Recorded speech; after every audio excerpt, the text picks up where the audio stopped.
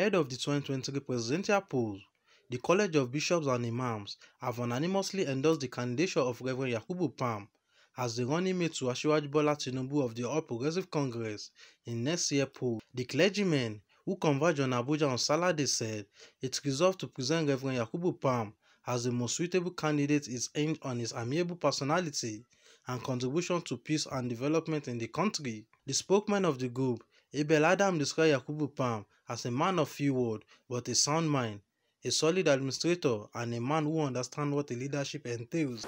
As a body of clerics, Reverend Yakubu Pam is one of us. Over several decades, he has displayed an unflinching commitment to the unity, progress, growth of the country in several capacities, including chairman of the Christian Association of Nigeria in the 19th northern state of the Federal Capital Territory. He set a worthy leadership example that we have remained proud of. Hence, the decision to present to the APC this unique individual that command tremendous respect across the country for his notable contribution to the good of the common man regardless of ethnic and religious affairs. It remains a statement to Senator Bola Ahmed Tinubu need a good running mate that is a bridge builder and a symbol of unity.